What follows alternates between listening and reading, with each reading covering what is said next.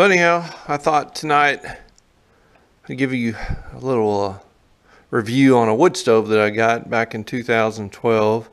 It's an Ons Osburne stove, OS B-U-R-N-E. Uh, this stove was produced in Canada. I bought it from a local dealer back in 2012. It's actually a certified EPA stove. Um, and it does have a glass front on it and I thought I'd give you some information on what my thoughts were, how it does, how it's been, and how it's going. So, first of all, um, my son and I we built all of this. Um, we uh, I didn't have a clue how to do this. I had a good friend of mine. Uh, his name is Donnie. He uh, does drywall, and he uh, said, "Hey man," he said, I, "I think I know how to do this. We'll get some uh, of that uh, cement and." He showed me how thick to do it, and we started the first row, and then basically uh, I took off from there. So uh, anyhow, it, it, took I don't know two three weeks to do this piece by piece. Um, I actually um, on this here, you just I took the drywall off. I put on that Hardie board, that concrete board, and then you put a it's kind of like a wire mesh, and on that wire mesh it goes up at an angle. And um, anyhow, when you run your first layer of that cement on, um, and then basically you start laying these basically man-made looking blocks. I did start at the top um, and then work my way down. Got down to the bottom here. I built the, the bottom base out of a 2 by 8s that ran this way. And then underneath this uh, landscape pavers is what they are. Um, I've got another layer of concrete board underneath there just for extra uh, fire protection and all the way around. And then this here goes on top. But um, I went to Menards, got this here. It's a uh, just landscape pavers. It uh, turned out really good. I was going to buy the same stuff for this, but this stuff just really isn't that durable. So if you're throwing wood down and stuff like that, it's going to chip on it. So I decided not to do that went this route. It blends in really good. I built this fire ring right here. Um, uh, that musket loader right there, kind of a long story. I uh, got that from a good friend that I was stationed with up in the U.S. Coast Guard up in Station Niagara up on Lake Ontario. He had that 50 caliber uh, muzzle loader. He had a ball stuck in the bottom of that deal. Uh, and he said, Aaron, he says, uh, you get this ball out so I can use it for muzzle loading season. He says, when I get done with it, you can have it. I said, done deal. So um, it was kind of difficult. I actually had to, to heat up the bottom of the, the barrel with a torch and uh, get that lead ball to actually melt and fall out of there. It was kind of an interesting deal. But uh, anyhow, it makes a good uh, uh, rifle to hang on the mantle. Uh, this is cedar post. I got this big cedar post from my dad. I took a chainsaw to it, cut one post directly in half, got all that mounted, uh, put in place. And got a nice little crosscut saw for for looks and a couple of uh, traps. And these traps, I've actually used these traps. Um, when I started trapping here several years ago, my dad had these and uh, I got these from him and uh, got them zip tied so they stay open. That way you don't snap your fingers. But anyhow, uh, those were traps, and um, and they're still functioning today if I need to use them. So anyhow, it's an Osburn wood stove. Uh, this thing here was uh, meant to heat up a house about 1,800 square feet. And uh, it's, it's really cool. It's uh, got a dampener on the back side of it. It does have a blower on the back turn that on enough. Very seldom do I ever use that blower. That's how well this wood stove works. If you don't have one, get one of these bad boys. I'll tell you what, those are phenomenal to have. It knows it tells you exactly what your uh, flue temp is going out of your wood stove. Uh, that way you don't have to worry about burning your house down. Um, it's got your the dampener control here on and off.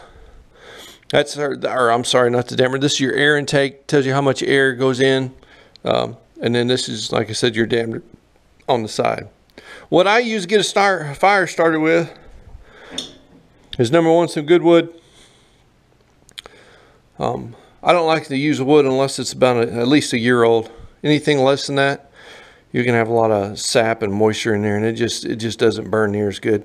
You're gonna have a lot of creosote issues if you do that, especially on a on a uh, glass front.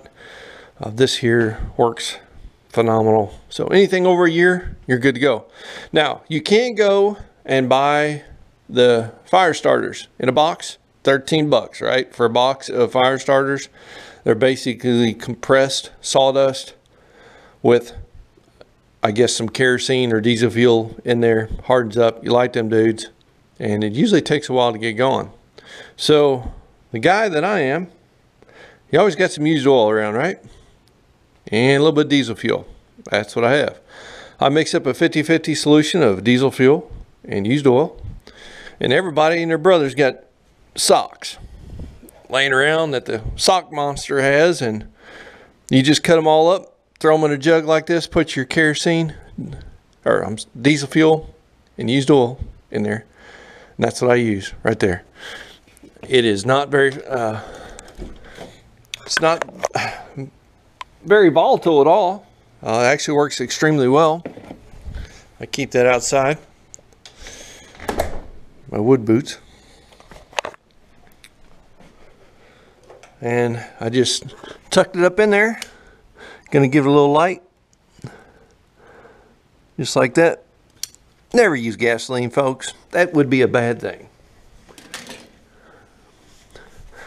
Just like that. That's about as volatile as it gets right there. And I've used fire starters, and let me tell you, this here works so much better. Um, you have a um, a nice flame. It kind of takes off and it doesn't get any bigger than that. I'd say this is a hotter flame and uh, it does very well. Now, let me tell you a little history on all this.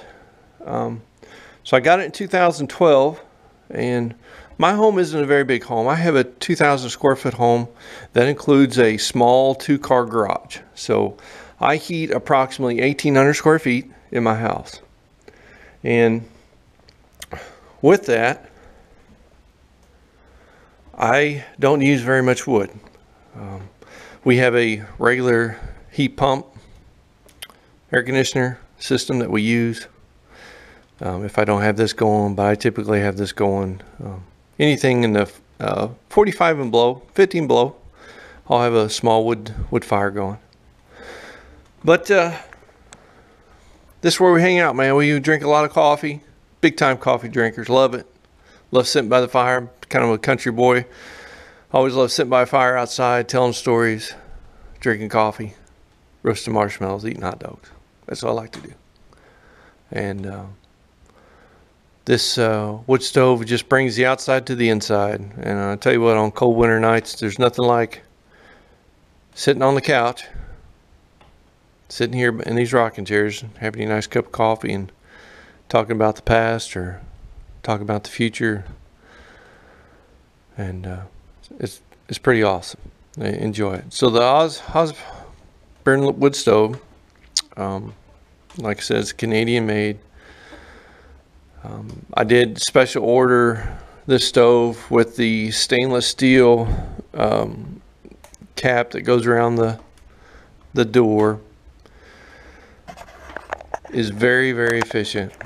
Um, I live in Illinois and I burn five, five, that's right, five pickup truck loads a winter. That's all I burn. That's it. And I did, uh, there for a little bit, I did cut my own firewood, split it, um, and then I decided, hey, I'll just go ahead and buy my own. So I buy it for $50 a truckload. And $50 a truckload times five loads a year is $250. So I'm able to heat my home, keep it pretty much any temperature I want to, from 72 to 74 degrees for $250.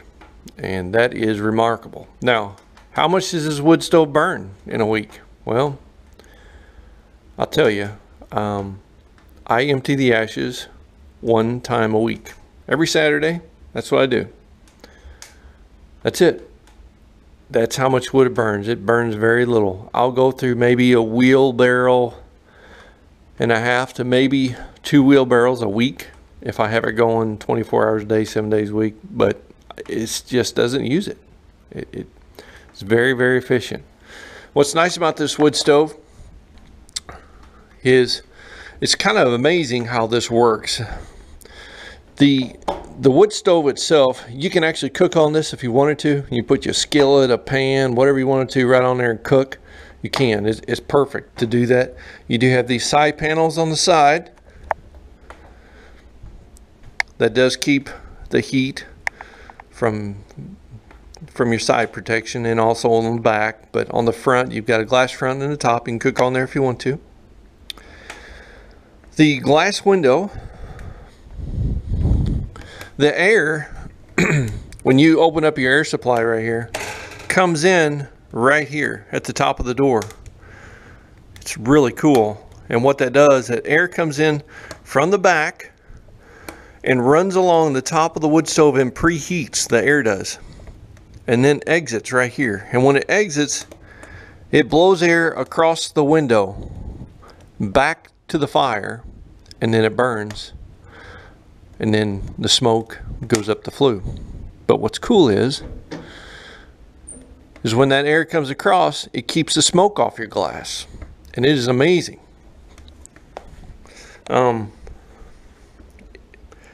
I clean the glass maybe once a week. And as long as you have a nice good uh, wood in there, good fire, man, that glass stays perfectly fine. It really does. And what I find out is your little temperature here, thermometer. If everybody has a modern cook stove, when you put your oven on, oven clean, it gets up to around 500 to 600 degrees and it cleans your oven, right? You open your oven, everything's just a, a pile of ash in there, just a white ash. Well, if you keep this thing hot for, I don't know, 15, 20 minutes, up around that 500 degrees to 600 degrees in that area right there. And if you have a little bit of buildup or creosote on your glass, it'll clean that stuff right off, just like your cook stove does. So pretty amazing.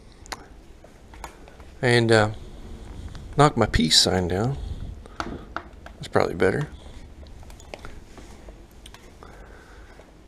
But this is it. That's what I do right here.